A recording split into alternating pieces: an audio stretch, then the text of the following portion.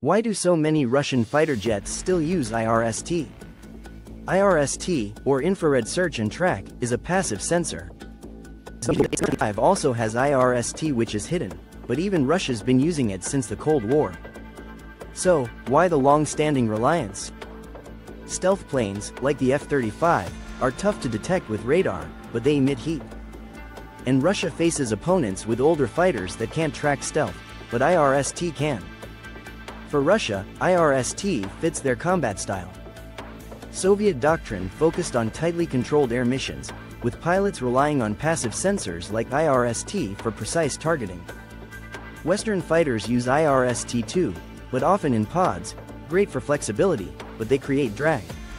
Russia's integrated sensors are slightly more sleek and efficient. In the end, IRST is one tool in a fighter's arsenal.